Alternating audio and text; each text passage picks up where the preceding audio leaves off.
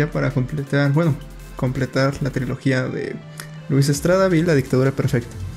Era una película que ya había visto hace años, me la pusieron en la secundaria, creo. Y la neta me aburrió. No es una película. ¿Secundaria? Simón, un profe no quería dar clase y te la- me la puso. Nos la puso. La neta no es una película que un niño debe ver porque la neta se le va a hacer aburrida y no va a apreciar lo que verdaderamente es la película que tiene un trasfondo y un impacto. Bueno, tuvo un impacto dentro del cine mexicano que estuvo bastante fuerte porque el tema expone diversas cosas que todos sospechamos pero que nadie asegura. Bueno, para quien no ha visto La Dictadura Perfecta, trata sobre una televisora que cubre los engaños y todas las cosas que hace el gobierno, ya sea el gobierno, el gobierno principal o el gobierno estatal. Eh, pues es una película basada en hechos reales, literalmente en la, al inicio de la película dice cualquier coincidencia con la realidad es, es así. Es porque quisimos que fuera coincidencia y desde el principio se ve que el presidente pues es el presidente Enrique Peña Nieto que estuvo del 2012 al 2018 creo. Curioso, porque varios sucesos que pasan en esta película no pasaron en ese sexenio. La- lo más importante de la película es lo que hacen con las niñas, que, bueno, tienen que cubrir la imagen o hacer que el Estado vean, vean al gobernador de una buena manera, porque el Estado se está yendo al carajo. Entonces dice, le va, va a la televisora y les dice, oigan, ayúdenme porque ustedes me pusieron en esto y necesito salir de, de aquí. Entonces, para cubrir las cosas que el gobernador está haciendo, inventan una historia de que unas niñas están desaparecidas. A estos actos de cubrir cosas les dicen la caja china o la caja mágica, no me acuerdo cómo les dicen. Pero es una cortina de humo, se le conoce aquí, aquí en México. Eh, crean esta cortina de humo, que es que secuestran unas niñas, esta es el- la misma televisora, y pues crean una telenovela a partir de eso, porque supuestamente empiezan a inventar que fueron los padres quienes se llevaron a las niñas, que pudo haber sido la nana. Inventan una historia que fue basada en hechos reales que pasó en el año 2010, que fue en el gobierno de Felipe Calderón. Es la historia de la niña Paulette, creo, que supuestamente a esta niña, bueno, lo que escuché en el, el de Leyendas Legendarias, es que a esta niña se llegó a la conclusión oficial de que apareció muerta en su cama. Ya después de un chorro de investigaciones, se, se cree, o bueno, popularmente se cree que la mató su mamá. Entonces ocuparon esta historia y esta, eh, la ocuparon para la película. Es una película muy buena. El actor principal, bueno, no me acuerdo cómo se llama, el que, el que sale en las el principal de todas las películas de Luis Estrada. Ah, este. Jor- Jor- Jos- no me acuerdo. También. Ah, sí, sí, sí, sí, sí, sí. sí. No me acuerdo cómo se llama. A ver, Ya te digo. The Perfect Dictatorship se llama la peli en inglés. Damián Alcázar. Ah, de Daniel Alcázar creo que es el papel que más me gusta. Porque como ya, los había, como ya le había dicho, en el- las películas pasadas empieza siendo un personaje bonachón, un personaje que no tiene idea de lo que hace, que va aprendiendo a partir de lo que va pasando en la película, pero aquí ya sabemos que es, que es un maldito y que está dispuesto a hacer lo que sea con tal de llegar al poder.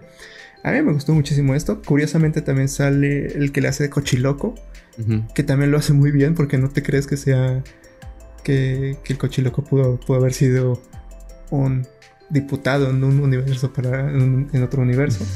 Está bastante bueno. Este. ¿Cómo se llama el actor? El coche loco. Este. No me acuerdo. te digo llama. Joaquín Cosio. Joaquín Cos. Ah, pues ahí está. Es una muy buena película que, pues, que, le tiene- que yo creo que sí le tienen que poner más o menos atención porque está interesante y te, todo el tiempo está con, te quedas al borde de la silla diciendo, ah, pues pensamos que podría pasar y curiosamente sí pasa en la vida real. Entonces, pues está muy bien. A mí me gustó muchísimo. Fue estrenada justamente en el 2014, creo. No sé si la censuraron un rato porque salieron noticias sobre que esta película estaba atacando directamente a ciertas personas. Creo que sí, pero vale totalmente la pena verla. Es la última película de Luis Estrada, creo. Creo que sí, es la última película. Creo que sí, creo que está grabando una. Ajá. Este, pero no estoy seguro, ahorita te digo. Ajá, pero hasta ahorita es la última película de Luis Estrada. Está cool. Si no la han visto, véanla. Si no la vieron en la secundaria, véanla. También. No la vieron en la secundaria. Eh, La no- secundaria es una buena etapa para hacer una crítica social constructiva del gobierno mexicano. Es lo que no pueden ver. es por eso profe te la puso. hacer, güey, pero no mames, no entendí. Quería que despertáramos todos. Sí, dijo, esta generación tiene que despertar al México del siglo XXI. Claro, claro. El México real. Hay que salir de la Matrix. ¿Cómo? Nada, nada.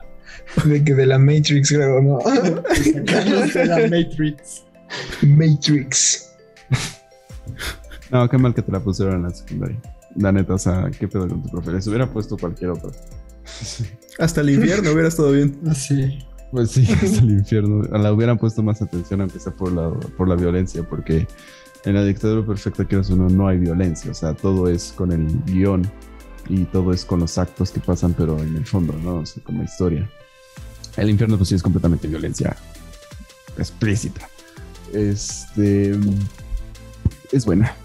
Tiene mucho que no la veo. De hecho, solo la he visto una vez en mi vida. Y recuerdo que me dejó un mal sabor de boca. o sea, que me quedé como de. "Ugh, ¿Qué pedo? Y, y más que nada porque pues estaba pasando, ¿no? Creo que yo la vi cuando empezó, cuando pasó todo este pedo de los, de los 41. Este, entonces me quedé como de nada mames, pues justamente ahorita está pasando esto y, y todo lo que están pasando en las noticias como para no sacar las noticias de esto. No sé, se, se me hizo como muy real la peli. Está curioso porque en el 2014 pues ya había redes sociales. Y pues en la película se pone que sí les importa, pero lo que más les importa es, es la tele. Que quién sabe cómo están los números de la tele en 2021. Yo creo que ya están mucho más abajo de lo que estaban en 2014.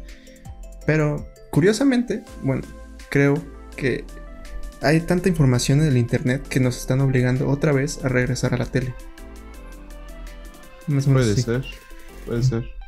Eh, yo creo que no. Yo creo que la tele va a emigrar al internet y básicamente lo que vamos a hacer como para verificar las cosas en el internet es ir a páginas que ya conocemos en la tele, ¿no? O sea, Ajá, exacto, eso te iba a decir. ponle tú que cuando Televisa ya no tenga sus números en rojo, va a decir, ah, no mames, no sé, migramos al internet y, y ahí es cuando la gente se va a ir a través de Televisa, pero en internet. Pero sigue siendo la misma empresa.